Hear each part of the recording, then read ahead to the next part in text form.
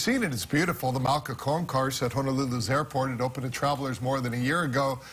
But it's a little stark, and there's some things that are noticeably missing, including places to eat. Max Rodriguez looked into what's causing the delays for a restaurant inside that multi-million dollar concourse. It's a story that's new at 9.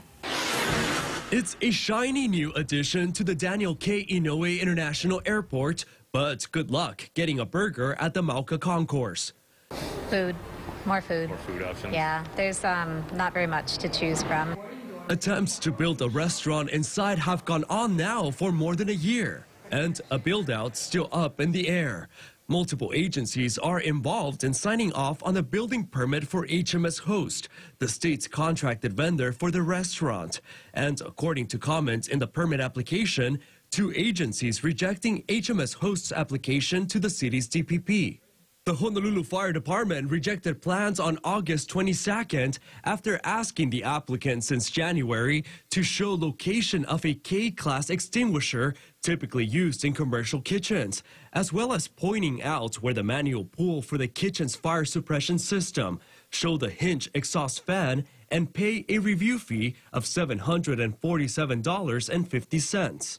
Meanwhile, the wastewater branch rejected plans on October 19, saying it's missing a sewer connection application, seemingly a back and forth between the city's DPP and the state's contracted vendor. This is like one of those moments where you really got to just break it down and say, all right, what what went wrong here, and how do we fix it for the next time, so that this doesn't happen again. And I think that means diving into some of the department's processes and procedures.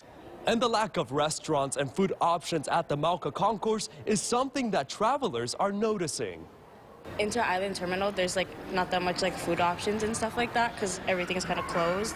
So I guess that's something that like it would be good to improve just so that I'm not eating like just Burger King every time.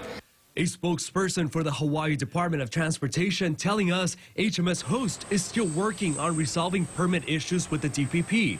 The DPP is now under new leadership working to improve its permitting processes. So I'm pretty optimistic. The city's been um, really trying to, I think, turn over every stone uh, at DPP. KHON2 News reached out to HMS Host Corporate for a status update on the application, and we will let you know when we hear back. Max Rodriguez, KHON2 News, working for Hawaii.